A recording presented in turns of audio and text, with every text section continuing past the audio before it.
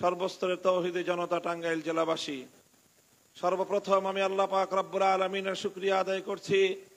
যেই মহান রব্বুল আলমিন বাংলাদেশের মানুষের বুকের উপর থেকে জগদ্দল পাথরের মতো চেপে বসা স্বৈরাচারী শেখ হাসিনাকে অপসারণ করে মুক্ত বাতাসে নিঃশ্বাস গ্রহণ করার সুযোগ করে দিয়েছেন। আল্লাহ হামদু আলাকার শুকুর। সংগ্রামী সাথী ও বন্ধুগণ, আমি সেই সকল শহীদানদেরকে স্মরণ করছি। দুই হাজার নয় সালে যারা প্রাণ দিয়েছিলেন সাতান্ন জন দেশপ্রেমিক সেনা কর্মকর্তা, দুই হাজার তেরো সালে রাতের অন্ধকারে তাহাজুদ্রত ঘুমন্ত অবস্থায় বহু হেফাজতে ইসলাম বাংলাদেশের নবী প্রেমিক, আল্লাহর পয়গম্বরের আশেক উম্মতকে যারা হত্যা করেছিল, যাদের সেই ফ্যাসিবাদী আচরণের শিকার হয়ে হাজারো হেফাজতের নেতা কর্মীরা পঙ্গুত্ব বরণ করেছে, স্মরণ করছি সেই সকল শহীদানদেরকে, যারা আল্লামা দেলোয়ার হোসেন সাইদি রহমতুল্লাহ আলহের বিরুদ্ধে কল্পিত নাটক সাজানো মৃত্যুদণ্ডের রায় ঘোষণা করার পর কোরআন প্রেমিক হাজারো জনতা, লাখো জনতা রাজপথে নেমে আসার প্রেক্ষিতে গুলি করে পাখির মতো গুলি হত্যা করা হয়েছিল শতাধিক। নবী কোরআন প্রেমিক জনতাকে স্মরণ করছি দুই হাজার একুশ সালে বাংলাদেশের স্বাধীনতার সুবর্ণ জয়ন্তীকালে, যখন বাংলাদেশে গুজরাটের কসাই নরেন্দ্র মোদীকে আমন্ত্রণ জানিয়ে মুসলমানদের রক্তের সঙ্গে উপহাস করার আয়োজন চলেছিল।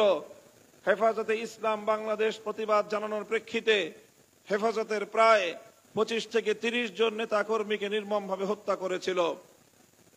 দুই হাজার চব্বিশ সালে জুলাই এবং আগস্ট মাস জুড়ে বাংলাদেশের আকাশ বাতাস প্রত্যক্ষ করেছে এক নজিরবিহীন মর্মান্তিক নির্যাতনের ঘটনা।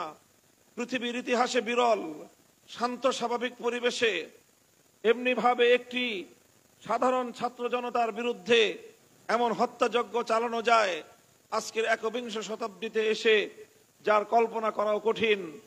এজন্য আমি বলে থাকি, বাংলাদেশে হাজার বছরের মধ্যে শেখ হাসিনার মতো এত নির্মম, এত বর্বর কোন মানুষের জন্ম হয়েছে কিনা আমার সন্দেহ হয়।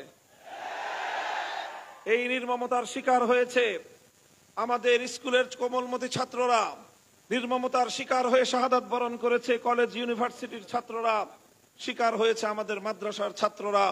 তিন বছরের শিশু সন্তান রেখাই পায়নি, আবার বৃদ্ধ বনিতা, সহস্রাধিক মানুষকে হত্যা করে অসংখ্য মানুষের লাশ পর্যন্ত গুম করেছে। যাদের বাবা মা এবং যাদের উত্তরাধিকারীরা কোনোদিন তাদের সন্তান এবং তাদের বাবার কবর পর্যন্ত খুঁজে পাবে না। এই নির্মমতার স্বাক্ষর হয়ে থাকবে বাংলাদেশ। সেই সকল শহীদানদের জন্য রুহের মাগফেরাত কামনা করি। আর নাম না জানা, পরিচয় না জানা, গুমের শিকার, খুনের শিকার গত পনেরো বছরে বাংলাদেশের অসংখ্য মানুষ, বহু মা এখনও রাতের পর রাত নির্ঘুম পথ, রাত কাটায়। পথের পানে চেয়ে থাকে, ওই বুঝে মায়ের সোনাধন আবার তার কোলে ফিরে আসবে। এইভাবে কত বাবা এখনও পর্যন্ত হাসপাতাল থেকে হাসপাতাল, মর্গ থেকে মর্গে ঘুরে বেড়ায়, তার সন্তানের লাশটুকুর অন্তত সন্ধান পাওয়া যায় কিনা? এই ছিল আমাদের বাংলাদেশের নির্মম চিত্র। এই বাংলাদেশ গড়ার জন্য এদেশের হাজারো মানুষ রক্ত দিয়ে বাংলাদেশ গড়েনি। এই বাংলাদেশ থেকে আল্লাপাক শেখ হাসিনাকে অপসারণ করে আমাদের সেই প্রাণের বাংলাদেশ গড়ার সুযোগ করে দিয়েছেন। আমাদেরকে আল্লাহ পাক রব্বুল আলমিনের কাছে আবারও শুক্রিয়া আদায় করতে হবে। সংগ্রামী সাথী ও বন্ধুগণ, আমরা স্পষ্ট ভাষায় বলতে চাই, বিজয় অর্জন করা যতটা কঠিন, বিজয়কে রক্ষা করা তার চেয়ে বেশি কঠিন। আমাদেরকে সেই দীর্ঘ এক সংগ্রামে নামতে হবে। আমরা যদি সাময়িক বিজয়ের তৃপ্তিতে আমরা যদি তৃপ্তির ঢেকুর তুলি, এ বিজয় যে কোনো সময় ছিনতাই হয়ে যেতে পারে। যে কোনো মুহূর্তে বিজয় আমাদের হাতছাড়া হয়ে যেতে পারে। পরাজিত শক্তি বসে নেই। পতিত স্বৈরাচার আবার বাংলাদেশের মানুষের বুকের উপর। ছবল মারার জন্য অপেক্ষার প্রহর গুনছে। আমরা তিক্ত অভিজ্ঞতা স্মরণ করতে চাই। উনিশশো একাত্তর সালে বাংলাদেশ স্বাধীন হয়েছিল। আমার এই বাংলাদেশ পঞ্চান্ন হাজার বর্গ মাইলের এই জনপদ। এখন যেই জনপদের নাম বাংলাদেশ, কখনো এই জনপদের নাম ছিল পূর্ব পাকিস্তান, কখনো এই জনপদের নাম ছিল পূর্ব বাংলা। এভাবে বিভিন্ন নামের ঐতিহ্যকে, বিভিন্ন নামের ইতিহাস পাড়ি দিয়ে আজকের আমরা এই সোনার বাংলাদেশ উপহার পেয়েছি। এ বাংলাদেশ পেতে আমাদেরকে তিন তিনটি আধিপত্যবাদী শক্তির বিরুদ্ধে লড়াই করতে হয়েছে। আমাদেরকে দুই শত বছর ব্রিটিশ বেনিয়া সাম্রাজ্যবাদী শক্তির বিরুদ্ধে লড়াই করে স্বাধীনতা অর্জন করতে হয়েছিল। আমাদেরকে এই পূর্ব বাংলার মুসলমানদের মানুষের জাতিসত্তার উন্নতির জন্য কলকাতার আধিপত্যবাদের বিরুদ্ধে বঙ্গভঙ্গের নামে ব্রিটিশ আমলে লড়াই করতে হয়েছিল। আর সেই লড়াইয়ের বিরুদ্ধে সাম্প্রদায়িক অপশক্তির রবীন্দ্রনাথ ঠাকুরদের নেতৃত্বে পশ্চিম বাংলার এই জাতির উত্থানের বিরুদ্ধে ষড়যন্ত্রকারী, সাম্প্রদায়িক উস্কানিদাতা, সহিংস আন্দোলনের রূপকার রবীন্দ্রনাথ ঠাকুর সহ যারা বাংলাদেশের মানুষের অধিকারকে হরণ করতে চেয়েছিল, বাংলাদেশের ঢাকা বিশ্ববিদ্যালয় প্রতিষ্ঠাকে যারা কেড়ে নিতে চেয়েছিল, সেই আধিপত্যবাদী দাদাবাবুদের বিরুদ্ধে সংগ্রাম করে আমাদের এই অঞ্চলের মুসলমানদের স্বাধীনতা অর্জন করতে হয়েছে। এরপর উনিশশো সাতচল্লিশ সাল থেকে উনিশশো সাল চব্বিশ বছর পর্যন্ত পশ্চিম পাকিস্তানের খান পাঠানদের বিরুদ্ধে আমাদেরকে লড়াই করতে হয়েছে। আমরা ওদেরকে বলেছিলাম, আমরা তোমাদের ভাই, তোমরা আমাদের ভাই। ওরা আমাদেরকে বলতে চেয়েছিল, না, বাঙালি তোমরা আমাদের দাস, আমরা তোমাদের প্রভু। আমরা পরিষ্কার বলে দিয়েছিলাম, আমাদের মৌলানা আব্দুল হামিদ খান ভাসানী পরিষ্কার বলে দিয়েছিলেন যে আমাদের বন্ধু থাকতে পারে, এই জমিনের মধ্যে আমাদের কোনো প্রভু নাই। আজও আমরা বলতে চাই, আমাদের একজনই রব, এক প্রভু আরসের উপর যিনি থাকেন এই জমিনে আমাদের কোন প্রভু নাই, বন্ধু থাকতে পারে। এই জমিনের কোন মানুষ যদি আমাদের উপর প্রভুত্ব ফেলাবার চেষ্টা করে, তার চোখ আমরা উপরে ফেলব। আমরা এ জাতি, লড়াই করে অধিকার অর্জন করে আমরা অভ্যস্ত। আমরা লড়াই করে সংগ্রাম করে স্বাধিকার অর্জন করেছি। কিন্তু তিক্ত অভিজ্ঞতা হলো এই বারবার আমাদের এই সংগ্রামের সফলতাকে চিন্তাই করা হয়েছে।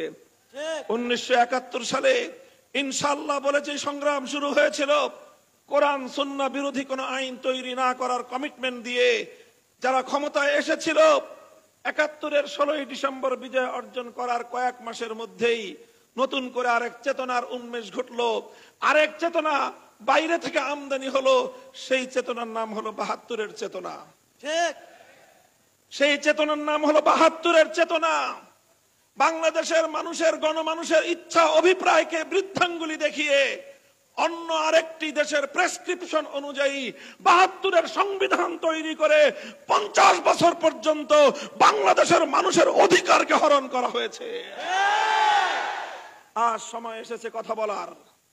আমরা বলতে চাই, এদেশের হাজার বছরের ইতিহাস ঐতিহ্যকে সামনে রেখেই বাংলাদেশের সংবিধান তৈরি হওয়া উচিত। কাজেই একাত্তরের বিজয়ের কয়েক মাসের মধ্যে আমাদের বিজয় ছিনতাই হয়েছিল। দুই হাজার চব্বিশ সালের আগস্ট বিপ্লবের পর যেটাকে এদেশের তরুণ প্রজন্ম দ্বিতীয় স্বাধীনতার যুদ্ধ বলে আখ্যায়িত করছে, এই দ্বিতীয় স্বাধীনতার পর আজও আবার সেই পরাজিত শক্তি পেছন দরজা দিয়ে আমাদের পিঠে ছুরিকাঘাত করবার চেষ্টা করছে। আমরা শান্তির জয়গান গাইছি, আমরা সম্প্রীতির কথা বলছি, আমরা ক্ষমার কথা বলছি, অথচ গতকালকেও গোপালগঞ্জে বিরোধী দলের নেতা কর্মীদের উপর হামলা চালিয়ে আওয়ামী ফেসিবাদী দৈরের দুঃশাসনের শক্তি এখনও আমাদের ভাইদেরকে হত্যা করছে। আমরা এত দ্রুতই নিজেরা আমাদের সংগ্রামের কথা ভুলে গিয়ে নিজেদের মধ্যে বিভেদে জড়িয়ে পড়ছি।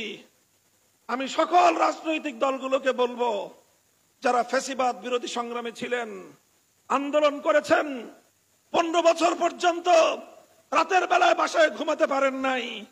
কোনদিন ধান খেতে, কোনদিন জঙ্গলে, কোনদিন নৌকায় করে নদীর মাঝখানে ফেরারি জীবন আপনাদেরকে যাপন করতে হয়েছে। যতটুকু সময় শহরে থেকেছেন, কোর্টের বারান্দায় বারান্দায় আর হাসপাতালের বিছানায় শুতে শুতেই আপনাদের সময় অতিক্রান্ত হয়েছে পনেরো বছর। এমন এক স্বৈরাচারী, পৃথিবীর ইতিহাসের নিকৃষ্টতম স্বৈরাচারীর জাতাকল থেকে আল্লাহ মুক্ত করেছেন। আমাদের সংগ্রাম আরও বাকি আছে। ফ্যাসিবাদের অবশিষ্ট শক্তিকে বাংলাদেশ থেকে উৎখাত না করা পর্যন্ত এদেশে আমরা কেউ নিরাপদ নই। সীমান্তের অপর প্রান্ত থেকে আপা। সীমান্তের অপর প্রান্ত থেকে আপা এখনও সংবাদ পাঠান। চট করে ঢুকে ঢুকে পড়ার পায়ে তারা ধান্দা করতেছেন। আপা যেখানে আছেন ভালো আছেন? ওখানে থাকেন আমরা ধরে আনব সময় মতো। এর আগে ঢুকবার চেষ্টা করবেন না। এদেশের মানুষের কবলে পড়লে কত ধানে কত চাল হয় হিসাবটা বুঝে পাবেন।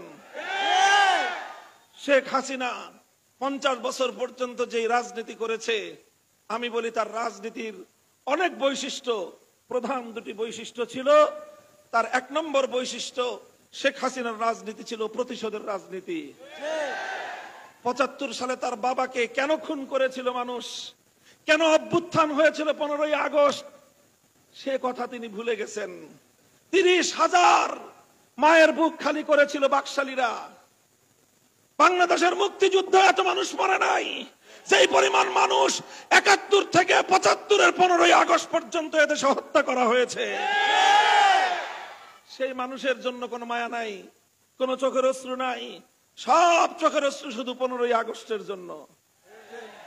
এই বৈষম্য ভালো না। যে সকল মানুষ নিরীহ, নিরপরাধ, নারী, শিশু পনেরোই আগস্টে নিহত হয়েছেন, তাদের জন্য আমরা সমবেদনা প্রকাশ করি। কিন্তু শুধু নিহত তো তারাই হন নাই, তাদের রক্তের যেমন দাম আছে, ওই তিরিশ হাজার মায়ের চোখের অশ্রুর কোনো মূল্য নাই। যাদের সন্তানদেরকে তরতাজা, তাগড়া তাগড়া যুবকদেরকে তুলে নিয়ে গিয়ে আপনার বাবা হত্যা করেছিল, সিরাজ শিকদারদের জীবনের কোনো মূল্য ছিল না। যাই হোক, পুরাতন হিসাব। ওই হিসাবে আমি যেতে চাই না। পনেরোই আগস্ট এই অভ্যুত্থানের পর শেখ হাসিনা আন্তর্জাতিক গণমাধ্যমে বলেছিলেন যে জাতি তার বাবাকে খুন করেছে, হত্যা করেছে, তিনি সেই জাতির কাছ থেকে প্রতিশোধ গ্রহণ করবেন।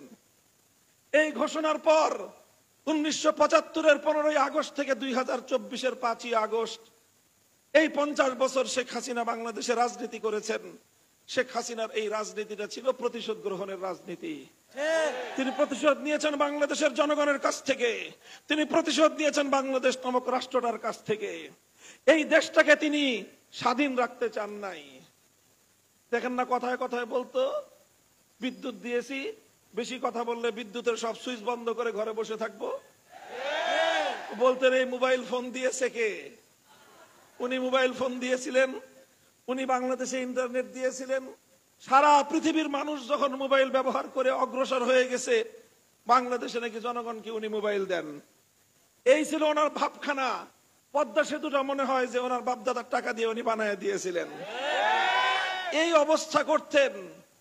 এই অবস্থা করে তিনি তিনি এই বাংলাদেশটা সম্পর্কে তার ধারণা এটাই ছিল, বেশি বাড়াবাড়ি করবা, বাংলাদেশটাকে ভারতের অঙ্গরাজ্য বানায় দিব। এটা ছিল তার রাজনীতি। এজন্য ভারতে গিয়ে তিনি মাথার মধ্যে তিলক পরেন।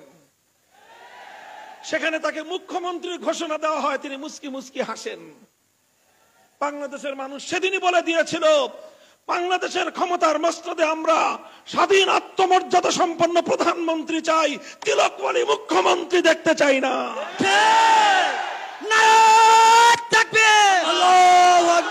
এই ছিল শেখ হাসিনার প্রতিশোধের রাজনীতি, শেখ হাসিনার রাজনীতি ছিল বিভাজনের রাজনীতি।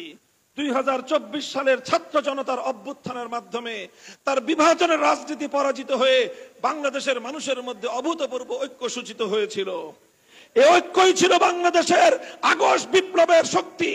এই ঐক্যের মাধ্যমে এদেশের মানুষ ফ্যাসিবাদকে পরাজিত করতে সক্ষম হয়েছে। এই ঐক্যটা আমাদের ধরে রাখতে হবে।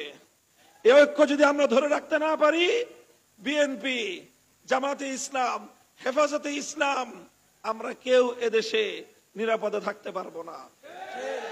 কারণ শেখ হাসিনা শুধু একা নয়, তার পিছনে লুকিয়ে আছে ওই শক্তি যারা বাংলাদেশটাকে স্বাধীন দেখতে চায় না। যারা বাংলাদেশটাকে বিশ্ব দরবারে মাথা উঁচু করা, আত্মমর্যাদা সম্পন্ন জাতি হিসেবে যারা দেখতে চায় না। সংগ্রামী সাথী ও বন্ধুগণ, তাই আমরা পরিষ্কার ভাষায় বলতে চাই অন্তর্বর্তীকালীন সরকারের কাছে আমি দাবি জানাব, গতকালকে গোপালগঞ্জে যেই ঘটনা সংঘটিত হয়েছে, চব্বিশ ঘণ্টার মধ্যে তার প্রকৃত দোষীদেরকে গ্রেফতার করে বিচারের কাঠগড়ায় দাঁড় করাতে হবে।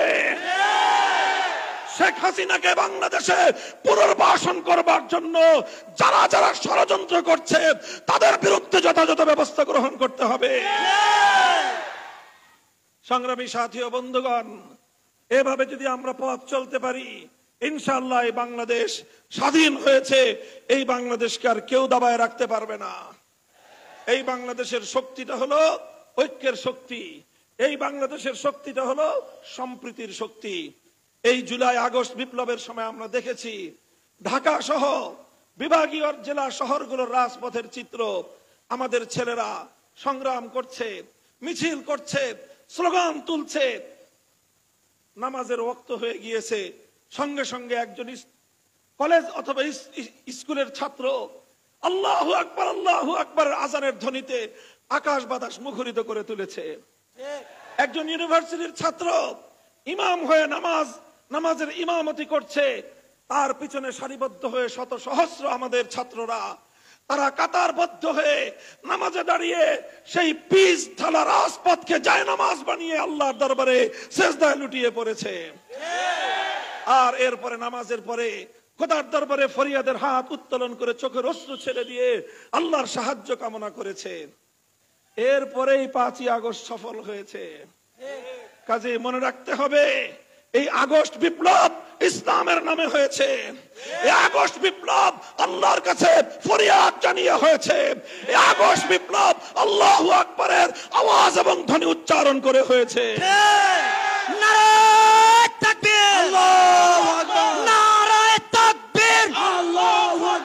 দিল্লি না ঢাকা। দিল্লি না ঢাকা। সংগ্রামী সাথী ও বন্ধুগণ সুতরাং এই চেতনা, এই প্রেরণা, এ বৈশিষ্ট্যকে ধরে রাখতে হবে। আমরা সাম্প্রদায়িক সম্প্রীতির যে অনন্য নজির কায়েম করে চলেছি, এটাকে অব্যাহত রাখতে হবে। মনে রাখতে হবে, আগে বাংলাদেশের বৈশিষ্ট্য ছিল, একটা শক্তি ছিল, শেখ হাসিনার পালিত শক্তি হাতুরি লীগ, হেলমেট লীগ। এই লীগেরা রাতের অন্ধকারে সংখ্যালঘু, হিন্দু, বৌদ্ধ, খ্রিস্টানদের উপর কালনাগিনী হয়ে ছবল মারত। দিনের আলোতে আবার তারাই ওঝা হয়ে ঝাড়তে আসতো। এই নাটক করেছে আওয়ামী লীগ। এই নাটকের কলাকুশীলবরা এখন বাংলাদেশের দৃশ্যপটে নাই, এই জন্য এখন আর নাটকও নাই। এখন বাংলাদেশের সংখ্যালঘুরা ভালো আছেন। তাদের মন্দির, গির্জা, প্যাগোডা, আর হামলা হয় না। হিন্দু ধর্মাবলম্বীদের কোন ব্যবসা প্রতিষ্ঠান, তাদের বাড়িঘর গুলোতে কেউ আক্রমণ চালায় না। কারণ আক্রমণকারী আওয়ামী লীগাররা এখন পালায় আছে। ওরা যদি আবার ঢুকতে পারে, শুরু করবে সংখ্যালঘুদেরকে দিয়ে। সংখ্যালঘুদের বাড়িঘর জ্বালাবে। তাদের হিন্দুরে মূর্তি তাদের মন্দিরের মূর্তি ভাঙবে। এগুলো করে সাম্প্রদায়িক দাঙ্গা বাঁধাবার চেষ্টা করবে। সুতরাং হুঁশিয়ার, সতর্ক, সোচ্চার থাকতে হবে। আমি এই মুনাফেক শক্তিকে বাংলাদেশের রাজনীতিতে আর পুনর্বাসিত হতে দেওয়া যাবে না। আমরা সাম্প্রদায়িক সম্প্রীতির যেই নজির বাংলাদেশে চলছে, এটাকে অব্যাহত রাখতে হবে। মুসলিম জাতিসত্তা, এদেশের নব্বই ভাগ মুসলমানদের চেতনা, তাদের ধর্মীয় সেন্টিমেন্টকে যদি আপনি শ্রদ্ধা না জানাতে পারেন এদেশে দেশে কোনোদিনও সাম্প্রদায়িক সম্প্রীতির অবস্থা বহাল রাখা যাবে না। আল্লাহর নবীর বিরুদ্ধে কেউ কটুক্তি করলে হুঁশিয়ার হুঁশিয়ার। আল্লাহর নবীর ইজ্জতের হেফাজতের জন্য আমরা শাপলা চত্বরে অকাতরে রক্ত দিয়েছি। আবারও আমরা যে কোনো সময় শাপলা চত্বরে যেতে প্রস্তুত। এই বিষয়ে আপোষ করার কোনো কিন্তু সুযোগ নাই। কাজেই সম্প্রীতির সকল জায়গাগুলোকে সম্মিলিতভাবে আমরা সংরক্ষণ করব ইনশাআল্লাহ। আগামীর বাংলাদেশ হবে ইনশাআল্লাহ সম্প্রীতির বাংলাদেশ, ইনসাফের বাংলাদেশ, বৈষম্যহীন এক বাংলাদেশ। আখেরি পয়গাম, পূর্ণাঙ্গ বৈষম্যহীন সমাজ গড়তে হলে, ইনসাফ ভিত্তিক একটি সমাজ গড়তে হলে মানব রচিত তন্ত্র মন্ত্র দিয়ে সেই পূর্ণাঙ্গ সফলতা কোনোদিনও পাওয়া সম্ভব হবে না। সেজন্য প্রয়োজন আল্লাহর জমিনে আল্লাহ প্রদত্ত রাজনৈতিক বন্দোবস্ত প্রতিনিধিত্বের রাজনীতি তথা খেলাফত ব্যবস্থা বাস্তবায়ন করতে হবে। বাংলাদেশ খেলাফত মজলিস আপনাদেরকে সে আহ্বান জানাচ্ছে। আগামী দিনে আমরা বাংলাদেশের জনগণকে সঙ্গে নিয়ে আমাদের এই আল্লাহর জমিনে আল্লাহর দেওয়া যে ব্যবস্থা, হাজার বছর ধরে এই জনপদের মানুষের যে আকাঙ্ক্ষা, সেই আকাঙ্ক্ষা বাস্তবায়নে আমরা ইনশাল্লাহ খেলাফত ভিত্তিক একটি ইনসাফ রাষ্ট্র কায়েম করতে চাই। আপনারা প্রস্তুত থাকবেন তো ইনশাল্লাহ বাংলাদেশ খেলাফত মজলিস, খেলাফত যুব মজলিস, ছাত্র মজলিস সহ আমাদের সংগঠনের পতাকা তলে আপনারা সামিল হন। আমাদের সংগ্রাম চলছে, চলবে। দেশের জন্য, মানুষের জন্য, মানবতার জন্য আমাদের এই অবিরত সংগ্রাম অব্যাহত থাকবে ইনশাল্লাহ দেখা হবে রাজপথে, কথা হবে স্লোগানে স্লোগানে। সকলকে আবারও আজকের এই সমাবেশে কষ্ট করে যোগদান করে দীর্ঘ সময় অপেক্ষার প্রহর গুনবার জন্য আন্তরিক অভিনন্দন জানিয়ে বক্তব্য শেষ করছি। আখির দাওয়ানা আলহামদুলিল্লাহ রাব্বিল আলামিন। বাংলাদেশ জিন্দাবাদ, বাংলাদেশ খেলাফত মজলিস জিন্দাবাদ। নাসরুম মিনাল্লাহি ফাতহুন করিব। আসসালামু আলাইকুম রাহমাতুল্লাহ।